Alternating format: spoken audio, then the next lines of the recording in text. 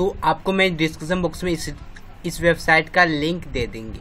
ठीक है, इस वेबसाइट का लिंक क्या है? जैसे आप इस वेबसाइट के लिंक पे क्लिक करेंगे।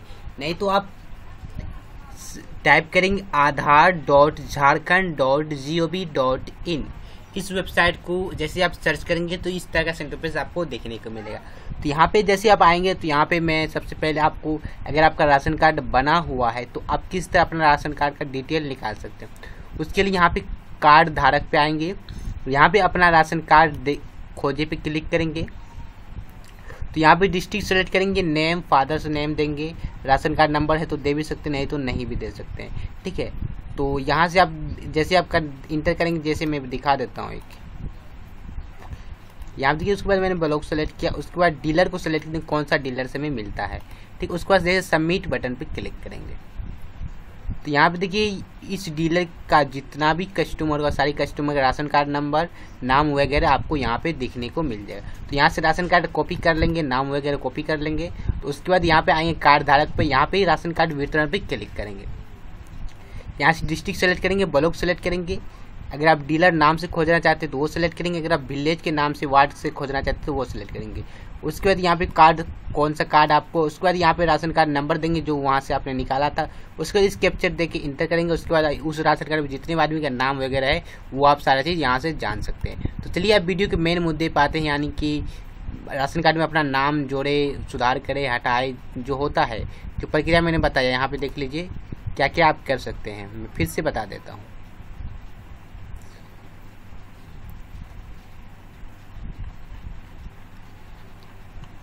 इसमें आप नया सदस्य जोड़ सकते हैं, हटा सकते हैं, मोबाइल नंबर में सुधार कर सकते हैं, आधार कार्ड में सुधार, बैंक पासबुक में सुधार, नाम में सुधार, डीलर बदल सकते हैं या अपने कार्ड का प्रकार बदल सकते हैं। तो चलिए वो सब करने के लिए सबसे पहले आपको यहाँ पे ऑनलाइन सेवा पे क्लिक करना होगा। ऑनलाइन सेवा पे जैसे आएँगे तो यहाँ पे ऑनलाइन आवेदन पे क्लिक करेंगे।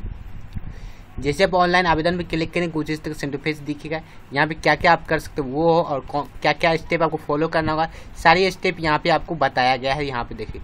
इस तरह से आज यहाँ पे यहाँ प्रोसीड पे क्लिक करेंगे। प्रोसीड पे क्लिक करें यहाँ पे पूछ रहा है, क्या आप करना चाहते हैं? या नाम जोड़ना चाहते हैं, नाम हटाना चाहते हैं डीलर बदलना चाहते हैं, जो भी करना चाहते हैं, वो आप यहाँ से नया राशन कार्ड के लिए अप्लाई करना चाहते हैं। अगर नया राशन कार्ड के लिए अप्लाई करना चाहते हैं, ये सिलेक्ट करेंगे।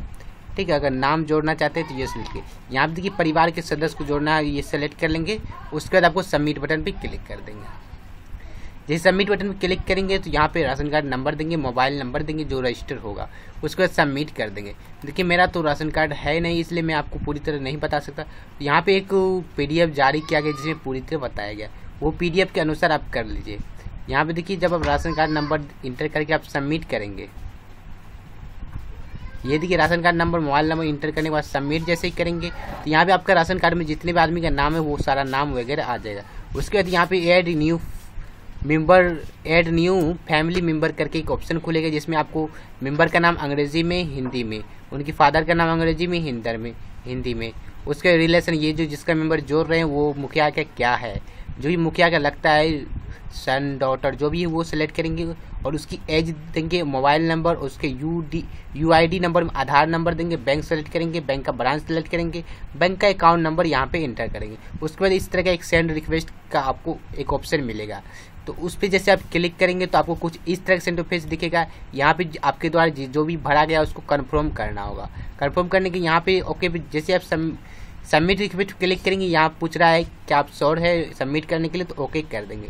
ओके भी क्लिक करने के बाद जो भी आपने भरा था वो आ चुका है और आपको रसीद भी, आपको रसीद भी यहाँ पे मिल जाएगा। जो रसीद का नंबर वो ये आपको मिल जाएगा। तो इसी तरह आवेदन आप कर सकते हैं। अगर डीलर बदलना चाहते हैं इसी तरह डीलर को आप बदल सकते हैं। जो मैंने प्रक्रिया बताई यहाँ पे, क्योंकि मेरा, मैं करने वाला नहीं, ये पीडीएफ के द्वारा मैं आपको समझा रहा हूँ। तो यहाँ पे ओके जब आप कर देंगे तो आपको रसीद मिल जाएगा। रसीद मिलने के बाद आपका पूरा प्रक्रिया हो जाएगा। उसके बाद कुछ ही दिन में आपका राशन कार्ड में नया मेंबर का नाम जुट जाएगा। नहीं तो आप यहाँ से आ जाएँगे, यहाँ पे आपको पूरी तरह यहाँ पे देखिए ऑनलाइन सेवा में आएँगे, ऑनलाइन प्रक्रिया आप जैसे आप क्लिक करेंगे तो ये पीडीएफ आपको खुल जाएगा। ये पीडीएफ पंद्रह पेज का इस पीडीएफ को आप अच्छे से पढ़ लीजिएगा, समझ जाइएगा तो आप बहुत अच्छे सी समझ जाइएगा किस तरह अप्लाई करते हैं। दोस्तों, ये छोटा सा प्रक्रिया था जो आपको मैंने बताया, क्योंकि मैं झारखंड का नहीं हूँ और इस मेरा, मेरे पास राशन कार्ड वगैरह नहीं हो जो मैं आप पूरी चीज़ विस्तार से बता सकूँ। मैं सिर्फ़ ये जानकारी आपको इस वीडियो के माध्यम से दे दिया हूँ कि आप कैसे कर सकते हैं। दोस्तों, उम्मीद करेंगे ये वीडियो आपको बहुत पसंद आया होगा।